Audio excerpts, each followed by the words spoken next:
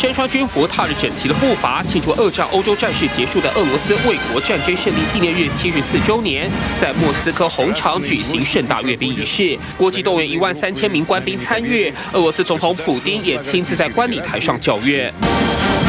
其中这一群外表靓丽、身材高挑的女兵格外受到瞩目，因为她们是红场阅兵上第一次有一队女兵方阵亮相。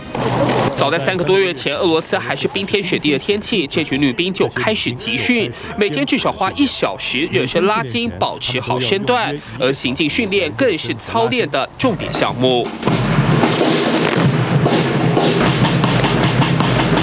It wasn't easy getting used to the carbine rifle, to the special position you need to be in while holding the carbine. 扛步枪、踢正步，这群女兵的训练要求和其他男兵一模一样，所有动作、所有细节一点都不马虎。We do our best and we try to do our best.